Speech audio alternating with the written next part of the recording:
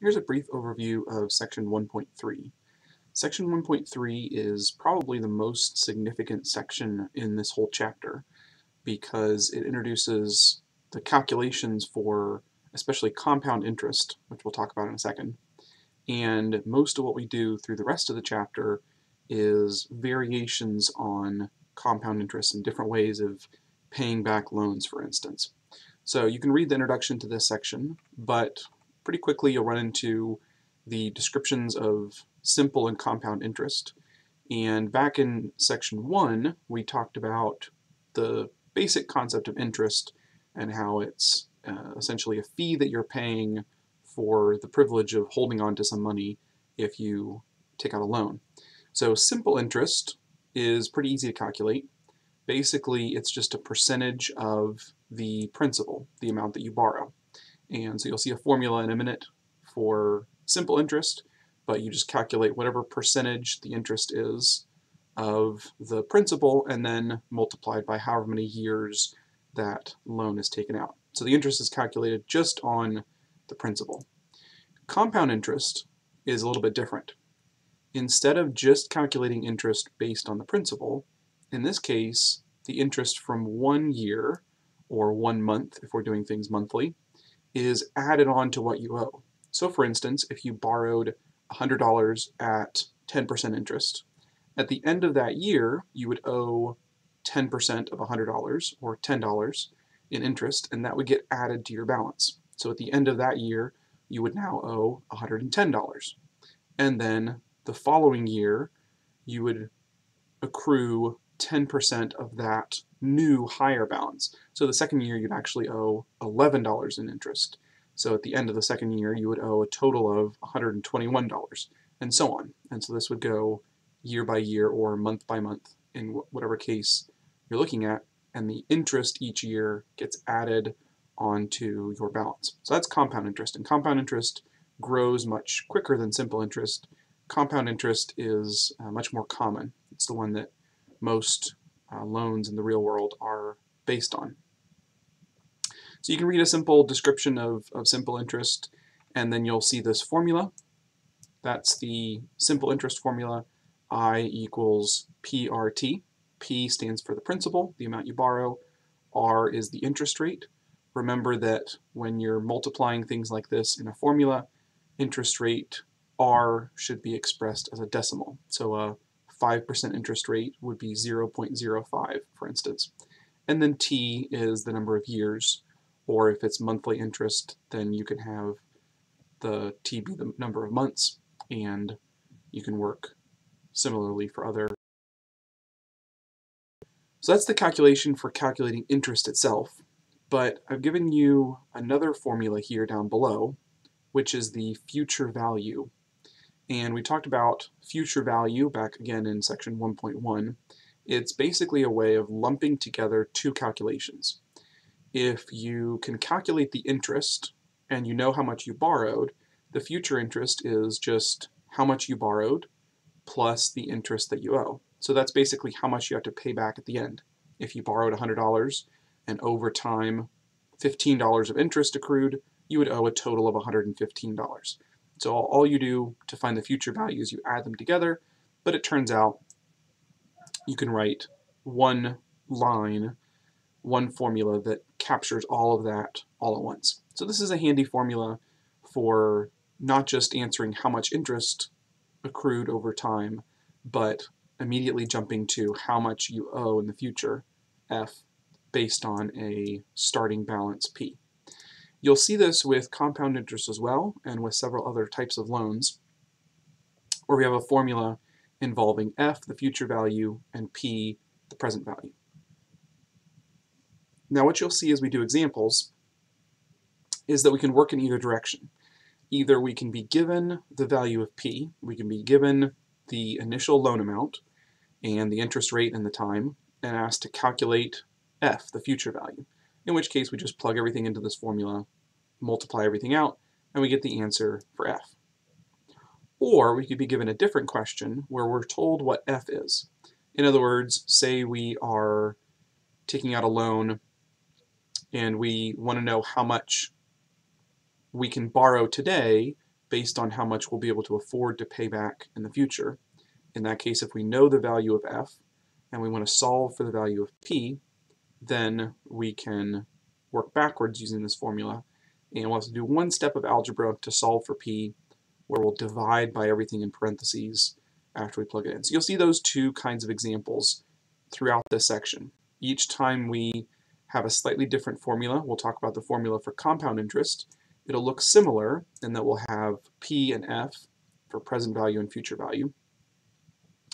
And when we do what's called continuous compound interest, we'll have the same kind of thing, where we'll have F and P.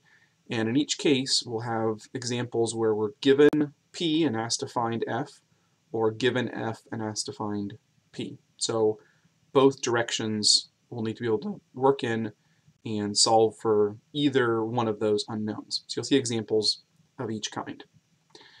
So you can read through, there's an example of just calculating interest by itself, given a principal interest rate and length of time. You can follow along with that. And then, as I said, there's one where you're given the present value. This time you're making a deposit, but it's the same idea. You deposit a principal at a given interest rate, and you're told how long this deposit sits there, and you're asked to find the future value. So you're given the present value and asked to solve for the future value f. Then in the next example, it gets flipped. Now you know how much money you want to have in the future. In 18 months or in one and a half years, you want to have $12,000. So the question is, how much should you deposit now? In other words, what's the present value you need to deposit in this account in order to build up to that future value. So you can run through this calculation and see how it works, that you set up the formula in the same way, but now you have to do one step where you divide by what's in parentheses to solve for the value of p. And so you can see those two examples, and again, if you need to, you can watch the videos on those examples in detail. You can try these similar ones to make sure that this clicks, and you can do the calculations yourself. Then we move on to compound interest. And you can read this description. It gets a little bit detailed and it's easy to get lost in the details here, but the basic concept that's going on here is that idea that if we start with a certain balance on our account and we calculate the interest owed for that year, so that would be at 8% interest, you would owe five, uh, $400 in interest for that first year. So at the end of the first year, or at the beginning of the second year, your balance would have risen to 5400 So now when interest is calculated, it's also calculated based on not just the amount you borrowed, but the interest that was added to it as well. So you notice as you go through this table that the interest that you owe each year starts to go up as your balance goes up. So compound interest grows the balance much faster than simple interest does. And you'll see that in an example here. I'll jump ahead to this one. We're comparing in green what happens with compound interest, what happens to the balance on the account, versus simple interest. Simple interest grows in a straight line. Compound interest grows in this curve that starts to increase very quickly. And we call this kind of growth exponential growth, and we'll talk more about that in chapter 2. But it grows much quicker because the interest is being calculated not only on what you borrowed, but also on the interest that's being earned as time goes on. Here's the formula for compound interest. Again, it looks very similar to the simple interest one. It's a little bit more complicated. Notice this exponent here where you're taking 1 plus r over n and then all of that in parentheses raised to the power of n times t. But otherwise, the pieces are all the same other than this introduction of n. And n is how many times per year the interest gets added onto your account.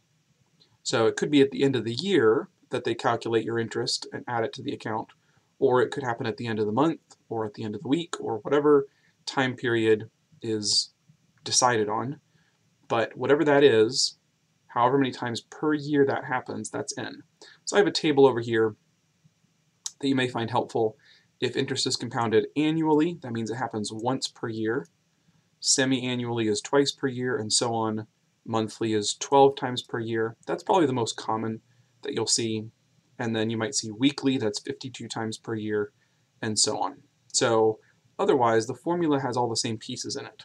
P stands for present value, F stands for future value, R stands for interest rate, and T still stands for how many years there are.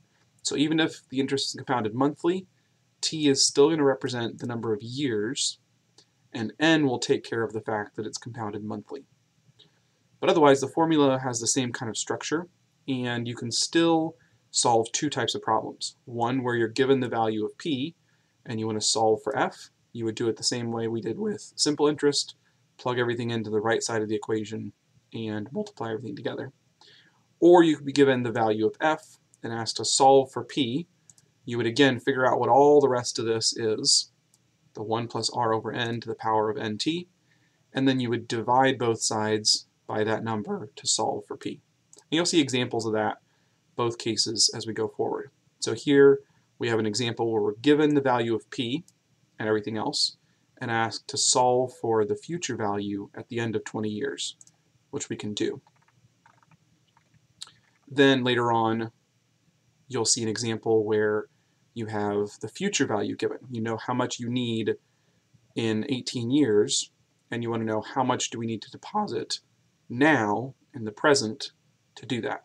And so again, you plug everything in and solve for p. So the process is just the same as what we did with simple interest, it's just a different formula with slightly different details, but the process works out the same. Make sure you read through and understand uh, how to use your calculator to solve for exponents. Your calculator may be slightly different. Make sure that you can do those calculations and you can follow through again the videos and the try-its to practice that. There are a couple of other uh, minor things to pay attention to. I have a little mention here on rounding. Just be careful when you're rounding numbers as you calculate something because those rounding errors tend to grow as uh, you go through the process of the problem. So try to show as many decimal places as possible in your intermediate answers as you use one number to calculate another. And I have an example here of what happens if you round too early, that your, your error uh, starts to grow. So just be careful with that, especially on the homework. It can be a little picky with rounding errors. Um, on a test where you're showing me your work, I can read between the lines a little better and follow along. Um, I have an example here of comparing two interest rates with different compounding periods. All you're doing is just calculating the amount that each one of them earns to compare them. So there's nothing really new there. It's just an application of that compound interest formula. This is a side note that you can read if you like, but it's not something that we'll need to worry about in detail. The last main concept in this section is continuously compounded interest. And the idea is that compound interest grows faster than simple interest, but it turns out that it also depends on how often you compound interest. If you compound it yearly, it'll grow quickly. If you compound it monthly, it'll grow actually a little bit faster. If you compound weekly, it'll grow a little bit faster still. If you compound daily, it'll grow a little faster still because that interest that you're adding along the way has more time to grow if you don't wait to the end of the year to add the interest in. If you add it in right away at the end of the month, or right away at the end of the week, or at the end of the day. And the difference is, is, is small, but it's there. So the question is, is there some kind of limit?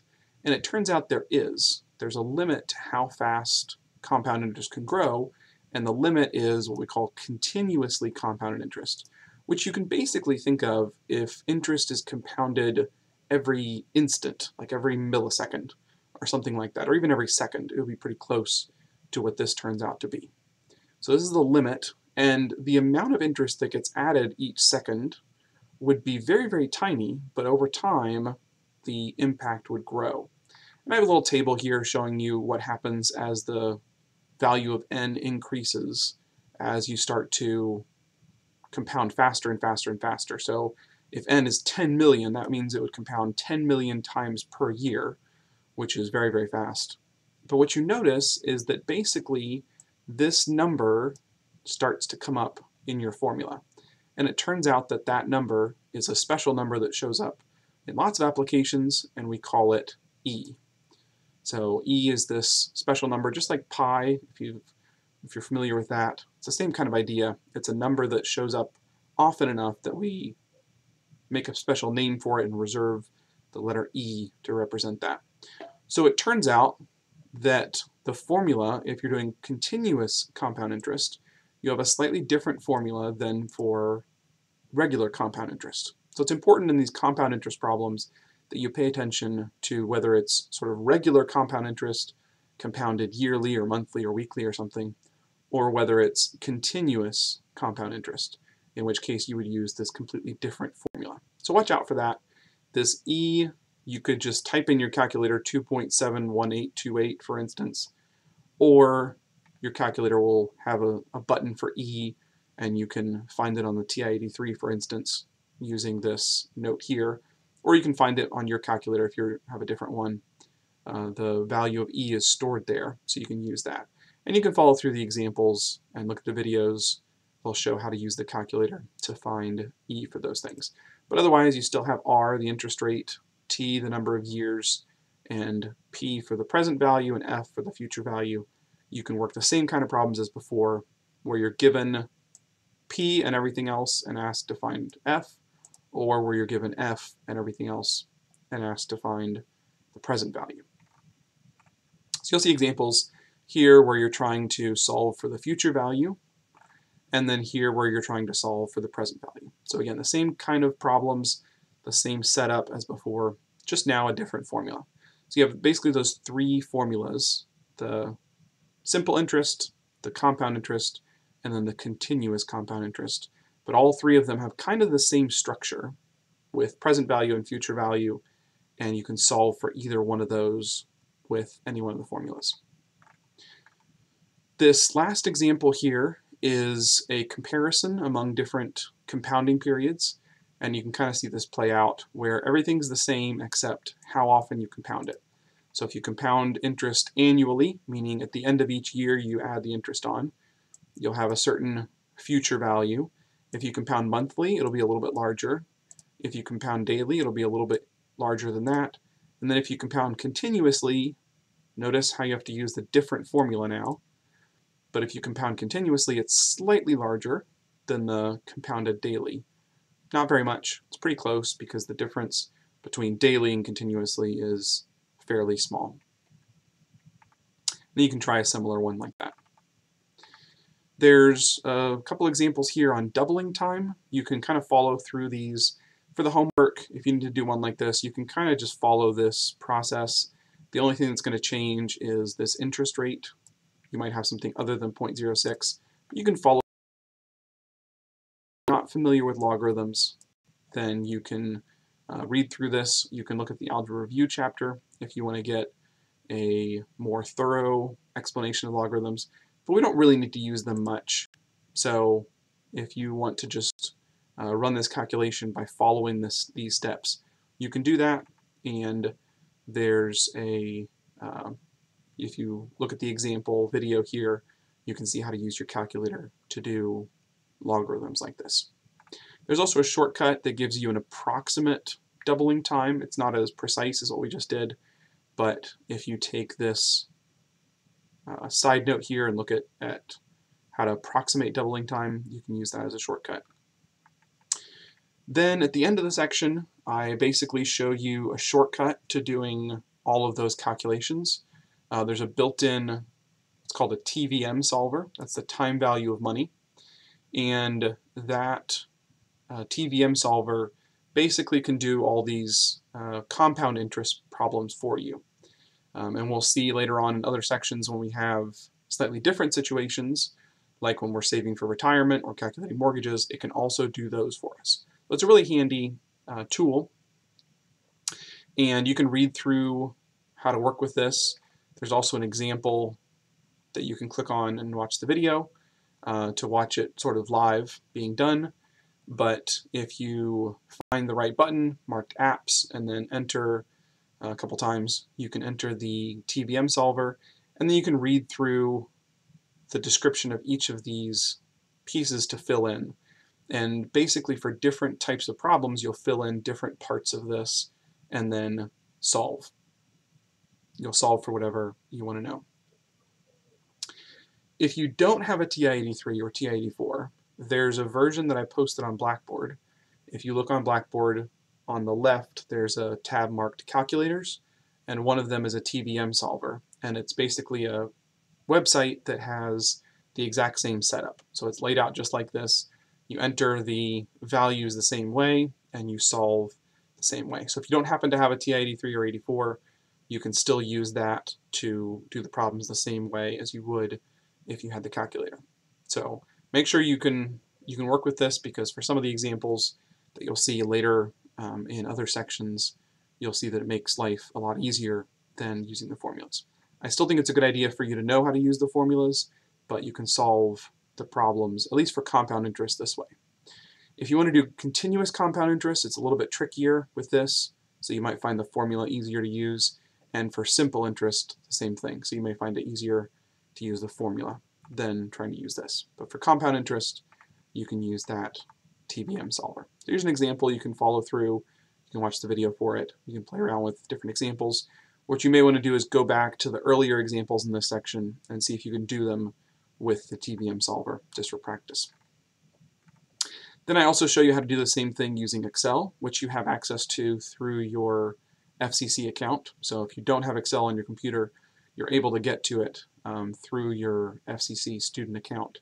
Um, so you can definitely use Excel. Or you could use something like Google Sheets or uh, free version. There are open source programs that do the same kind of thing, just like Excel. But they all have the same kind of formulas.